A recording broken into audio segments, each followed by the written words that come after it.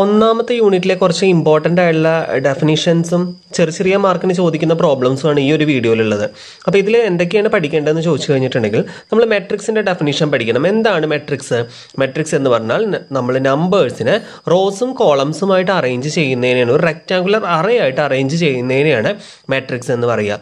അപ്പോൾ a set of numbers arranged in rows and columns so as to form a rectangular array എന്ന് എഴുതി വെച്ചാൽ നമുക്കതിന് mark കിട്ടും. ഒരു എക്സാമ്പിളും കൂടെ എഴുതി വയ്ക്കാം പിന്നെ ചോദിക്കാൻ ചാൻസ് ഉള്ളൊരു ക്വസ്റ്റ്യൻ ആണ്. ഓഗുമെന്റഡ് മെട്രിക്സ് എന്താണെന്നുള്ളത് ശരിക്കും ഫസ്റ്റ് മൊഡ്യൂളിൽ വരുന്നതല്ല. പക്ഷേ എന്നാലും മെട്രിക്സ് റിലേറ്റഡ് ആയത് കാരണം ഞാൻ ഇതിൽ പറയുന്നു എന്ന് മാത്രം. ഓഗുമെന്റഡ് മെട്രിക്സ് എന്ന് പറഞ്ഞിട്ടുണ്ടെങ്കിൽ മെട്രിക്സിനെ നമ്മൾ അപ്പെൻഡ് ചെയ്യുകയാണ് എങ്ങനെയാണ് അപ്പെൻഡ് ചെയ്യുന്നത്? രണ്ട് മെട്രിക്സുകളെ അപ്പെൻഡ് ചെയ്യുകയാണ് അതിന്റെ കോളംസ് അപ്പെൻഡ് ചെയ്യുകയാണ് രണ്ട് മെട്രിക്സുകളുടെ കോളത്തിന് അപ്പെൻഡ് ചെയ്യുകയാണ് ആദ്യത്തെ മെട്രിക്സിന് ശേഷം അടുത്ത മെട്രിക്സ് എന്ന രീതിയിൽ എഴുതുകയാണ് ഇങ്ങനെയാണ് അത് റെപ്രസെന്റ് ചെയ്യുക.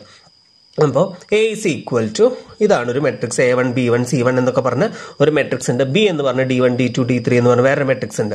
അപ്പോൾ ഇതിന്റെ ഓഗുമെന്റഡ് മെട്രിക്സ് എഴുതുന്നത് കണ്ടോ? നമ്മൾ ജസ്റ്റ് ചെയ്ത് ഇങ്ങനെ അപ്പൻഡ് ചെയ്ത് എഴുതിയാൽ മതി. അപ്പം ഇതാണ് ഇത് ഫസ്റ്റ് മെട്രിക്സ് സെക്കൻഡ് മെട്രിക്സ് ഇങ്ങനെ അപ്പൻഡ് ചെയ്ത് എഴുതുന്നതിനെയാണ് ഓഗുമെന്റഡ് മെട്രിക്സ് എന്ന് വിളിക്കുന്നത്.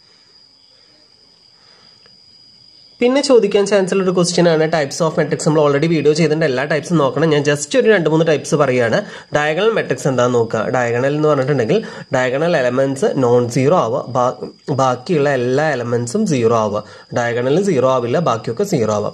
അതുതന്നെ അപ്പർ ട്രയാങ്കുലർ ഉണ്ട് ലോവർ ട്രയാങ്കുലർ ഉണ്ട്. അപ്പർ ട്രയാങ്കുലർ എന്ന് പറഞ്ഞിട്ടുണ്ടെങ്കിൽ നോക്കി ഇത് കണ്ടോ?